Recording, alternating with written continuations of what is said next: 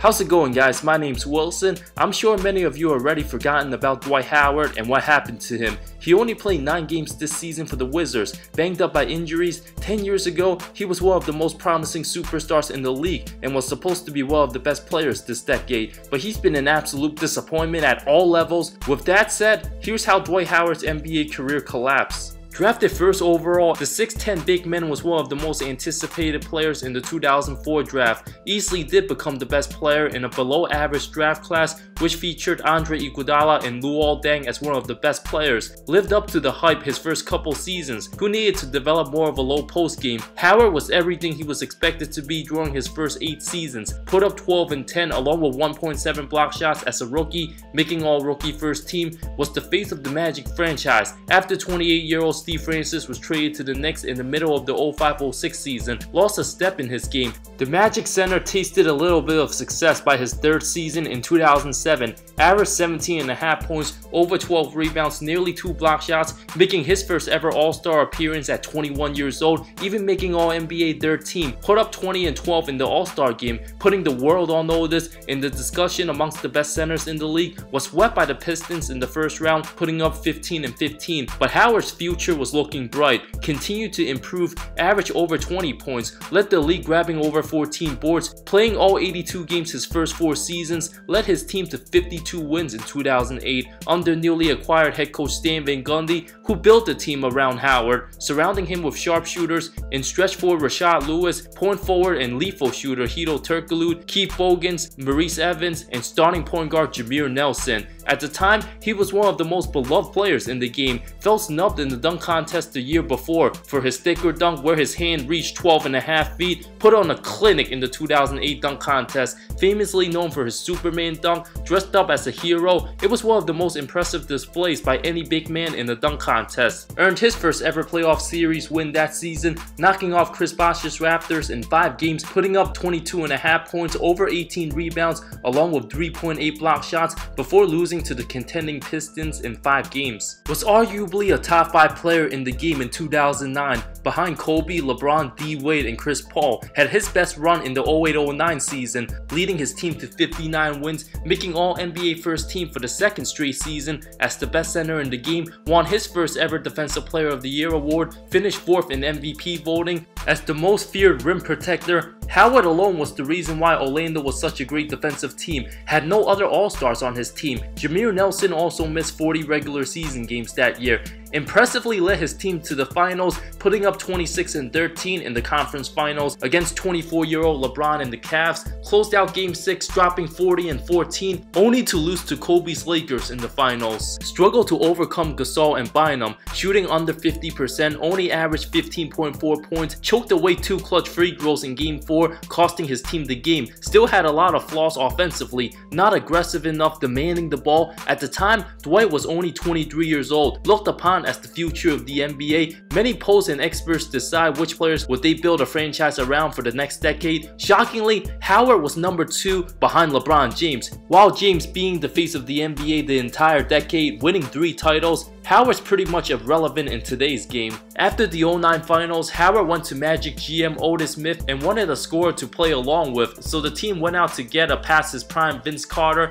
mistakenly let Hedo Turkoglu walk in free agency, the second most important player on the team. The Cavs even made a move to get 37-year-old Shaquille O'Neal, having the size to match up with Dwight because of Howard's dominance in the postseason against them. Unfortunately, the Cavs and Magic didn't meet in the 2010 playoffs, as the best big men at 24 24 years old, should have been averaging at least 22 a game, but Howard only put up 18.3 points, always called for offensive fouls and constantly being in foul trouble. His chemistry didn't fit well with Carter. Despite still winning 59 games, Orlando was no match for the Celtics, losing in an easy 6-game series. Carter was then traded in the middle of the 2010-11 season. The team brought back Hedo, who was already 31 years old and lost a step in his game, swapped Rashard Lewis' contract for Gilbert Arenas'. Howard had his best statistical season, putting up nearly 23 points, over 14 rebounds, won his third straight Defensive Player of the Year award at 25 years old, leading Orlando to 52 wins, finished second for MVP that season, but disappointingly lost to the Atlanta Hawks in the first round in 6. A disgruntled Howard grew impatient with the team's lack of consistency during the lockout, had issues with the front office, had attitude problems leading to his frustrations, lacked leadership. During an April 5th interview with the press, head coach Stan Van Gundy told the media Dwight wanted him fired. Howard himself interrupted the whole thing, wrapped his arms around his coach, claiming the news was false. That was the beginning of Dwight Howard's career downfall, started having back problems which ended his season early. Van Gundy was later fired after the season and GM Otis Smith agreed to part ways with the organization. A couple months later, Howard decided to go public, allegedly sent a bunch of private messages to a former Amway Arena employee by the name of Marquis Randolph, who showed the world what Dwight said, was angered by how the Magic drew him under the bus.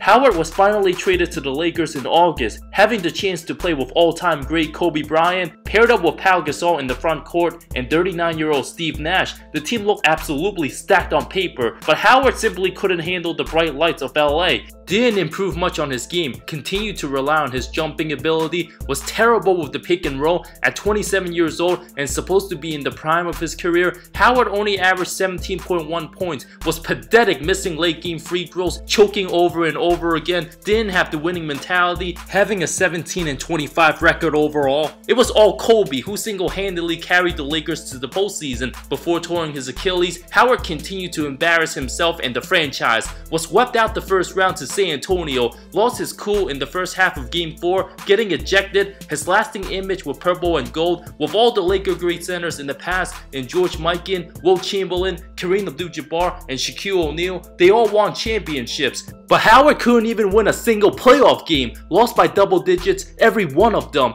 Not being able to live up to his expectations, the Mamba mentality was too much for him. Decided to bounce in free agency, signing with Houston as the Rockets celebrated in joy, expecting Howard to bring them a championship, pairing him with James Harden. In the first night of the regular season in the 2014-15 season, Kobe took offense to Howard, drawing his elbows after securing a rebound, called him soft amongst other things, says he's a teddy bear. I tried teaching Dwight, I tried showing him, but the reality is that when you have a perception of what it is to win a championship, and most perceptions of what it's like to win are a very outgoing, very gregarious locker room where you pick each other up and you're friends all the time. That's the perception, and I think that's what his perception was of what the idea is. But when he saw the reality of it, it made him uncomfortable, and it's very tough to be able to fight through that, to deal with that challenge, and I don't think he was willing to deal with that uncomfortable and combative nature. Kareem Abdul-Jabbar later shared his thoughts with Laker Nation in 2017 about Dwight's tenure with the Lakers, saying he didn't want to do any work. Went on First Take in October 2013, called out Dwight on his lack of basketball IQ and not having a go-to move, blowing his opportunity to work with arguably the greatest center all time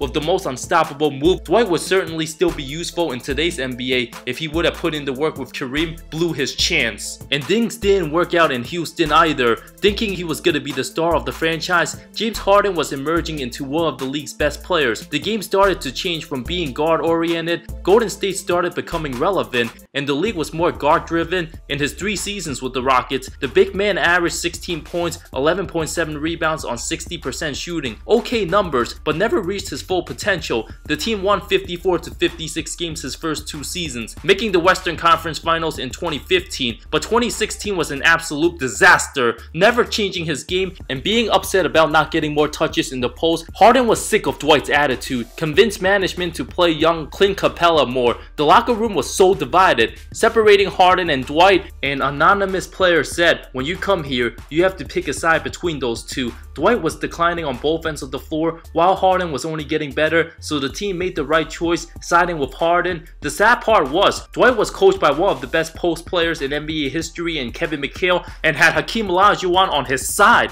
but it's obvious he didn't put in the work despite having so much guidance from two of the best post players we ever seen. Not to mention he also had Patrick Ewing as an assistant coach in his early days with Orlando. As soon as Howard left, the Rockets locker room became significantly better. The team was way better without him. Harden was better, and so was everything else about the organization. Howard signed a three-year $70.5 million deal with the Hawks, which was branded as a homecoming equivalent to LeBron's return to Ohio, while not quite. According to ESPN's Zach Lowe, Dwight would give speeches before games, demands post touches, and doesn't rotate as hard as he could. Everyone was sick of his goofiness and jokes. Averaged 13.5 points, 12.7 boards in his lone season with Atlanta, was mostly on the bench in the fourth quarter during crunch time. Former teammate Dennis Schroeder said, Dwight only played hard four games a year, all against his former teams. Hawks players couldn't wait for Dwight to be gone, also cheered happily after he was traded. The Charlotte Hornets would unfortunately have to deal with the Dwight problem. The Hornets didn't improve with him on the floor.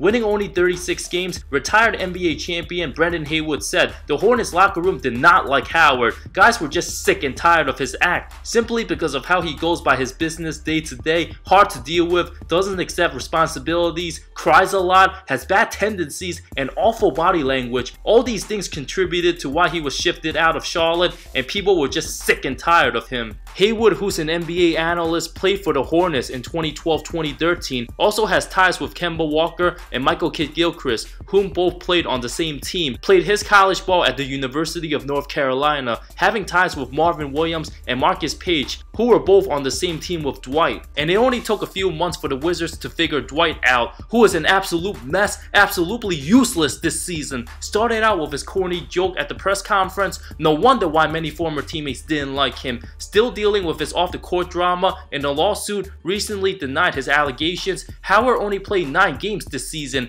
underwent spinal surgery, hasn't played since his hamstring injury, has a $5.6 million player option to return to the Wizards next season, but his play won't make much of a difference. Now at 33 years old, dealing with multiple injuries, combined with his lack of desire to win from not getting along with his teammates, being bounced around like a hot potato the last couple years, Dwight Howard has been the laughing stock of the NBA NBA, and all he can blame is himself. After he was traded from Charlotte, the Nets wanted no part of him, quickly bought him out. Appearing in memes and comments throughout social media, all for the wrong reasons, now that he's older and a huge distraction, constantly getting bashed for non-basketball reasons, it's likely Dwight Howard's NBA career will continue to go downhill from here. From his Dwight Maris exit with Orlando to Kobe calling him soft, not getting along with James Harden, even hated by his hometown team the Atlanta Hawks to having other issues, from being one of the most loved players 10 years ago, leading the NBA with over 3 million votes for the 2009 All-Star game to being one of the most hated players 10 years later, nowhere to be found, his lack of leadership and goofiness given his incredible talent is why he will be forgotten. If it wasn't for his immaturity and if he was willing to just change his game a little bit, Houston might have won a championship by now. I won't be surprised if Dwight Howard gets bounced out of the NBA within the next two years. It's clear he's been a locker room cancer ever since he left Orlando. Howard never truly reached his full potential. His accomplishments his first eight seasons with Orlando will get him into the Hall of Fame. What do you guys think about Dwight Howard's NBA career? Is he the most forgotten former superstar this decade? Let me know in the comments below. Thank you so much for watching this video. I love all of you. See you next time.